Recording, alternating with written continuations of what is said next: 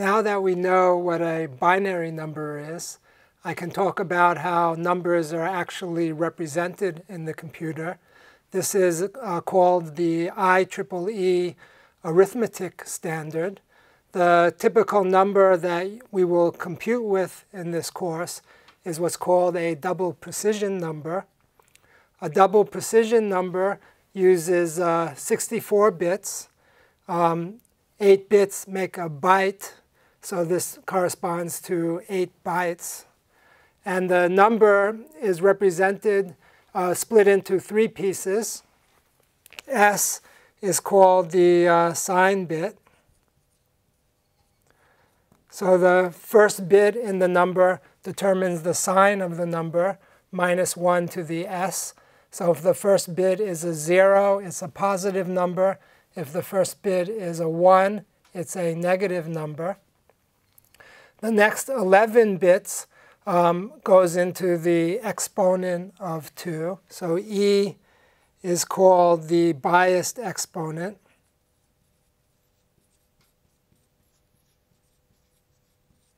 And that is uh, 11 bits.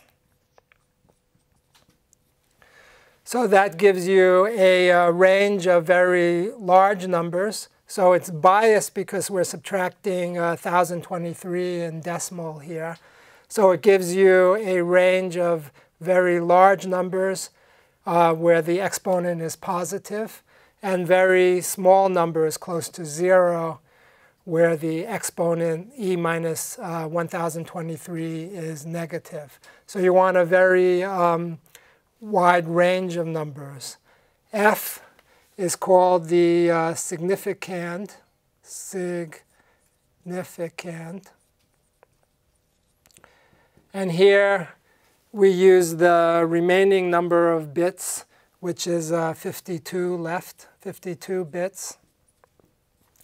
That is uh, one multiplied by one point f. Point is a binary point, and then f has uh, 52 bits.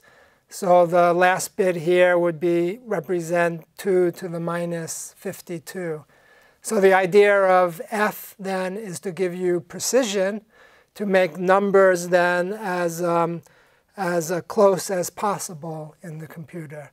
So E makes numbers large and small, and F makes the numbers as close as possible. Okay.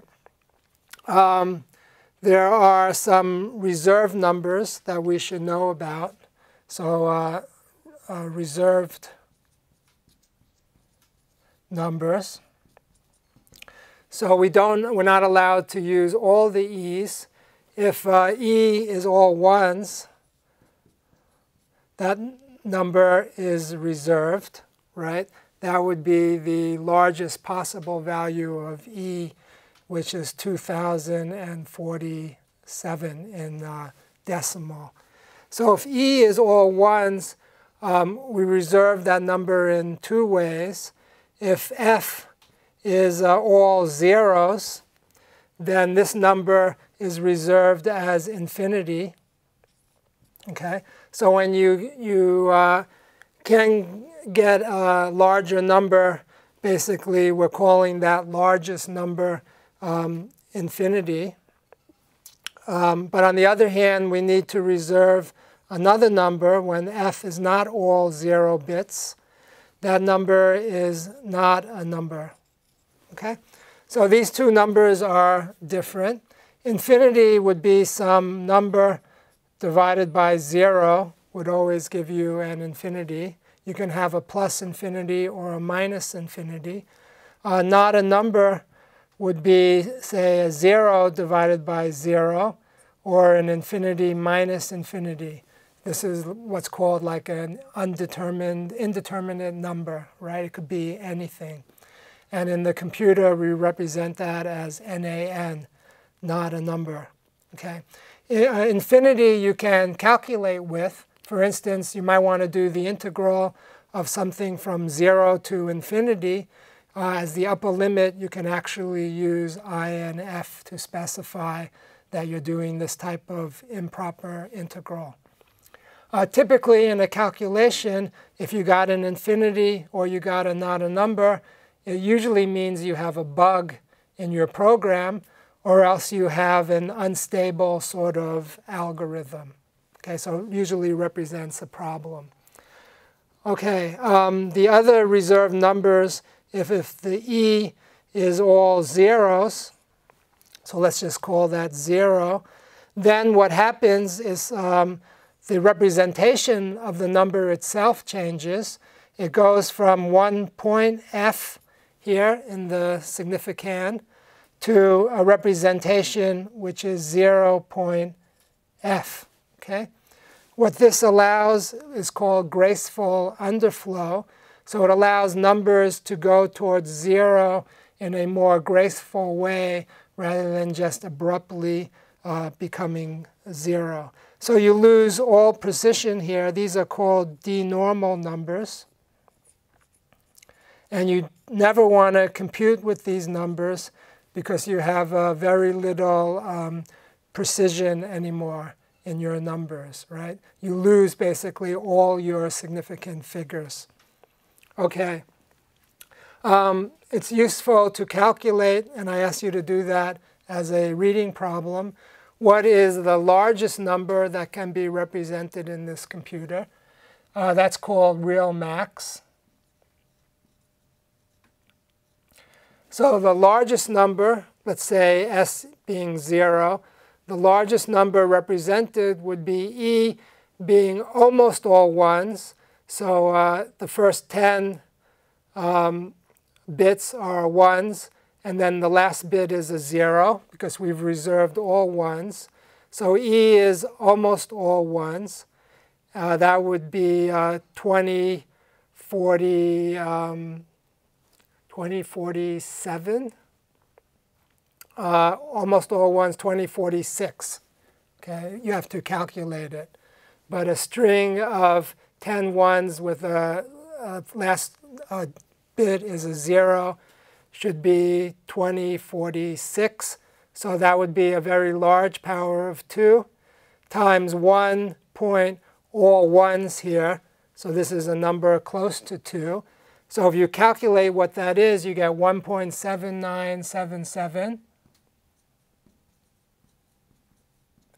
in um, base 10 would be 10 to the 308, a very large number. So the idea being that if you try to compute a number larger than this, you would get infinity. Okay, this is the largest number you can calculate with. The other extreme is the number closest to zero. That would be realmin. Here we're talking about normal numbers. So e is not allowed to be all zeros. So e then is just a 1. So it's 2 to the 1 minus 1023, which would be negative 1022. So 2 to the negative 1022 is a number very close to 0 times 1.0, all zeros here. If you calculate what that number is, it's 2.2251 times 10 to the minus 308. Okay? So this is the largest number that you can uh, represent in the computer. This is the smallest number before you enter denormal numbers that you can represent in the computer. Okay? Usually the range of numbers here is wide enough that you don't run into any trouble. Okay, another number which is very important is called machine epsilon. Um, we'll call that EPS. That's machine epsilon.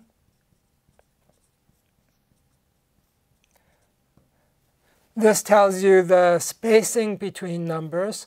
So if we have a, a 1, a number 1, we can ask what is the machine number that's just larger than 1. That's what we call machine epsilon, so 1 plus machine epsilon. So there is no numbers you can represent between 1 and 1 plus machine epsilon. If you calculate a number that's lying in this gap, the computer will round it. It will either round it down to 1 or we'll round it up to 1 plus machine epsilon. using the representation here, you can compute machine epsilon. You look at what is the representation of the number 1, and then what is the representation of the number that's the closest to 1, right? So that means uh, you have a single uh, f bit all, all the way down at the lowest um, possible value. If you do that calculation, then you would get machine epsilon turns out to be a small number, but it's 2.22 times 10 to the minus 16. Okay? So that tells you basically how compact numbers, uh, how compact the numbers are in the computer. Of course, when you go up in value here, because of this exponent here, you would say a number just larger than 2 would be 2 plus 2 times machine epsilon. Okay, so the spacing uh, increases by a factor of 2 every time your number moves up by a factor of 2. Okay, machine epsilon uh, is very important. Because if you look at the, say you're adding two numbers, x plus y, we can write that as x times 1 plus y over x. Okay?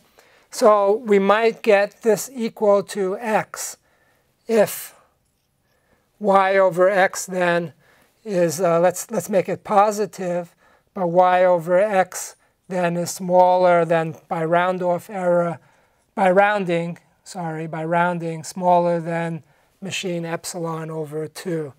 And then you would uh, just get 1 here. 1 plus y over x would be equal to 1. So x plus y would be equal to x. This is important to know for round-off error. If you try to add a small number to a very large number, um, you may not change the large number if the number is, if y over x is smaller than machine epsilon over 2. Okay, this is a real source of errors. Okay, uh, adding a small number to a large number. The other source of errors would be uh, subtracting two numbers that are very similar to each other. Um, and uh, you have to be careful that there's enough difference between them that you don't lose your uh, precision. Okay, so let me summarize. So this is information that is useful to have as background knowledge. Um, you don't really use this in a computation, but you have to be aware that numbers are represented in a certain way. There are holes in your number system. There's maximum numbers and minimum numbers that you can uh, deal with. This is the IEEE standard it's interesting to see exactly how numbers are represented. Uh, we're trying to do two things here. We're trying to have very large and very small numbers, and we're trying to have very precise numbers. Uh, IEEE arithmetic also lets you to define an infinity and define a not a number. I'm Jeff Chasnov. Thanks for watching, and I'll see you in the next video.